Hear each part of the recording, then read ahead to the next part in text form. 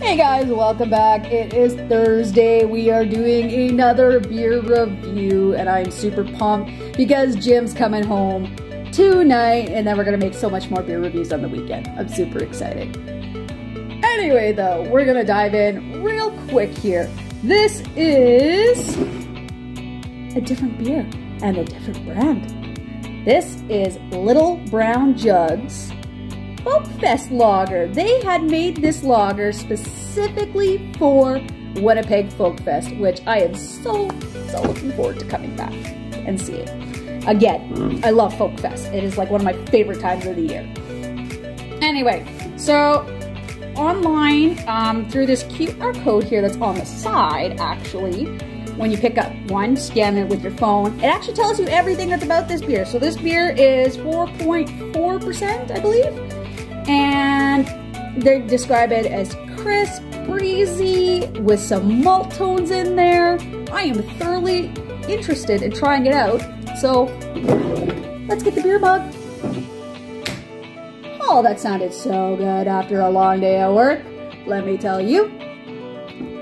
And let us do the pour, and while I do my thing, she does her thing, we will be right back.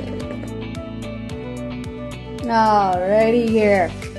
Good for the last drop. I'm gonna put this guy just on the side here. But look at the graphics on this. Like this is crazy. All the little detailing and whatnot. Love it.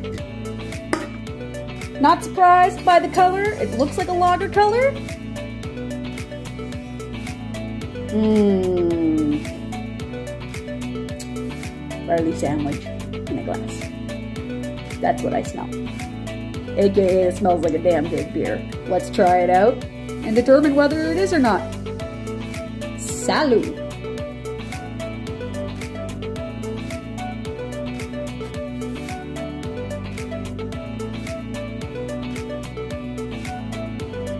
Holy crap!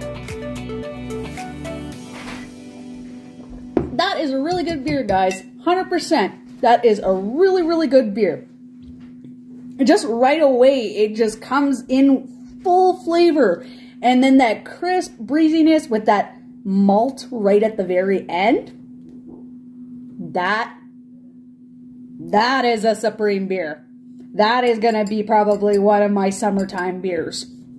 For sure. This is, this is so good. Honest review, I'm going to give it a 9 out of 10. I'm going to keep drinking. Y'all have a great day. Enjoy your beer. We'll chat soon.